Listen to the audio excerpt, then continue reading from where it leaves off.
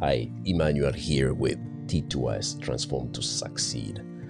Today, what I'm gonna do, I'm gonna continue with the series on how to set file permissions on a Linux system.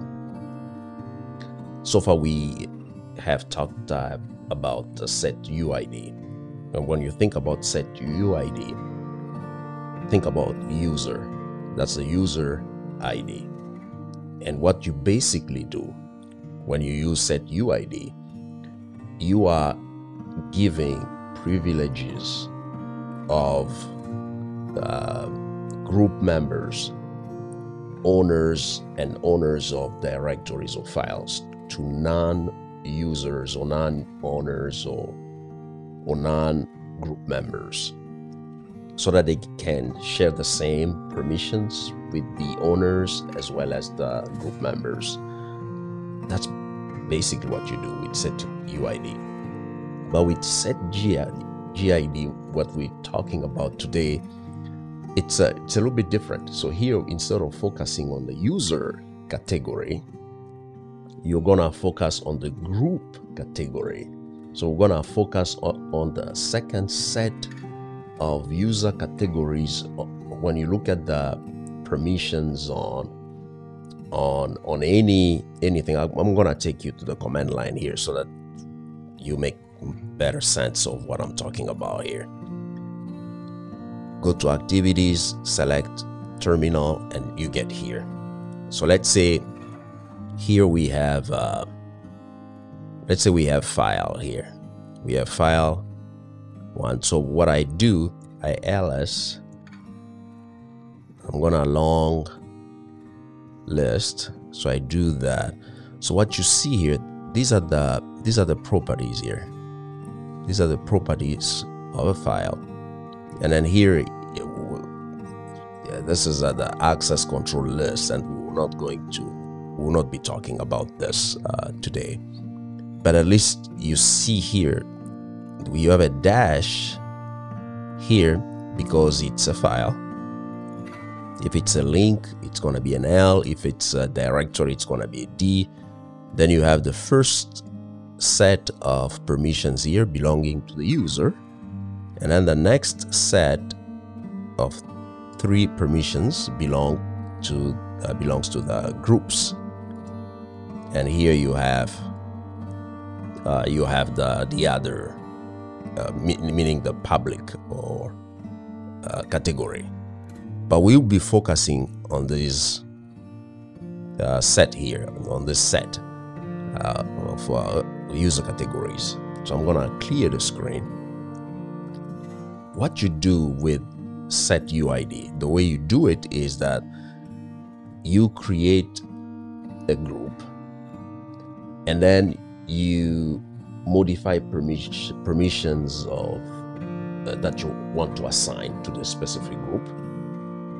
Next, you add users to the group, and then these non-group users will will have access to uh, to these uh, these these files, directories or files, and that's what I'm going to show you here quickly. The first thing you need to do is to make sure that you have you have already users. So what I'm gonna do, I'm gonna use the user command.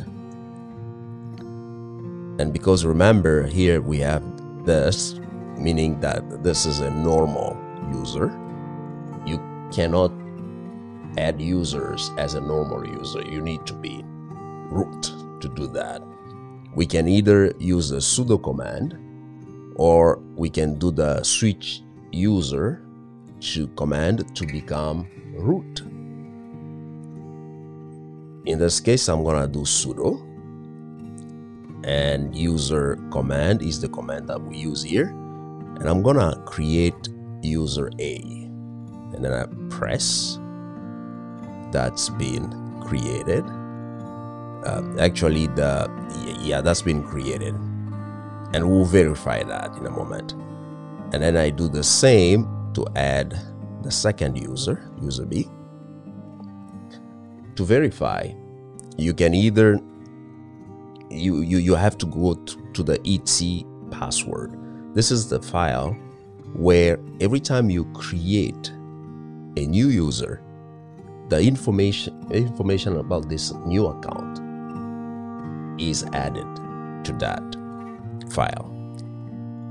And one way to verify could be you, you could use the grep command, which is one way, or you can, since we're looking at two users here, or you can use the head command, and I'm gonna do dash three and then the file. And this this is the file that we're talking about. This is where all the info information about every user account goes. It resides in here. So i press enter. And here surprisingly I don't see anything. And the reason is that I use head instead of tail.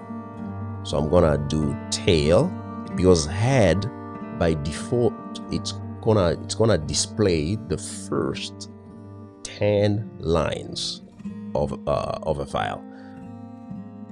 Tail will display the by default the last 10 lines. Okay? and in our case i'm gonna do three and you're gonna see uh, what i'm talking here and that will make more sense. So that's that's the difference between the head and the tail commands so the tail command because this is the, the, the very last the, the, the lines that were added last to this file. That's what we're looking at here and you see user a and user B have been created. So that's done. Now the next thing that you have to do is to if you don't have an existing group then you you have to create the group and to create the group you use this command group add and then the name of the group would be like this one here then enter the group has been created and I can verify by using the grep command. The grep command allows you to display lines or you know information or data using a pattern and uh, like CGRP and everything about group groups that you create is stored on this file. So you see here this group has been created but the thing is we did not assign any id and then the system just assigned an id here and the group id so next what we need to do is to add to add our users to this specific group. So i'm gonna do sudo usermod which is the mode user mode command to modify to mod modify this group by adding user a first. And that's done. And to recall the last command the previous command i use the upper arrow on my keyboard like that. Then i change that to user b. And that's done. And to verify i use the same command grep that and you're gonna see that the groups the, the users have been assigned to this group. Next what we need to do is to create a file or directory if we don't we didn't have any and then we we're gonna change uh, the owner of this directory. Like uh, it, in this case student will create this directory but we're gonna become root to do that. So i'm gonna become root here. And you see the change. This is no longer a no normal user. It's now the root user. I'm gonna clear the screen. So i'm gonna create a directory and i'll call it 10 i think this one already exists. So I'm gonna remove that directory. Uh, I'm gonna add the this uh, option here and that's uh, uh, yeah that should say yes here to remove it so now I'm gonna create it again so there 10 that's been created. And if you look at the properties of this directory see here this is the owner and this is the group. So what we're gonna do we're gonna change the the uh, who i mean the, the group that owns the directory. And to do that use this command here chown uh, root. Then we're gonna apply the new use the new name grp here and then the name of the directory. So that's been changed and if you want to verify you see the owner is still root but the group has changed from root to uh, the new group that we just created. And and then next what you do you're gonna have to add now permissions to that directory.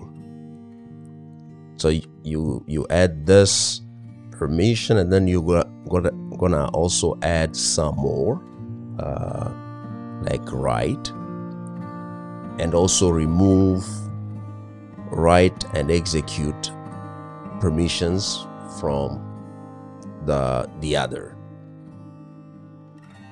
Then you apply that to this directory here and if you verify again here. So this is what what we have here. And we know that it's a directory. And we are focusing on the group here.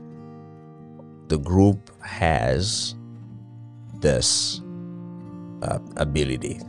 They they can read they can write and they they they can also share. You know the as here so they can share meaning that anybody anybody in this group anybody in this group should have the ability to share uh, proper uh, files and directories together. So if you switch to become you switch users to become user a user b whatever you do you do as that user user b as as user a user b should be able to access also that file because they can they can share they can collaborate.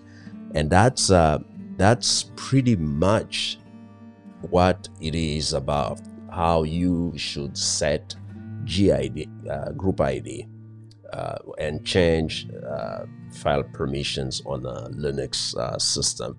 And again my name is emmanuel and thank you so much for watching this video. God bless you and i'll see you in the next video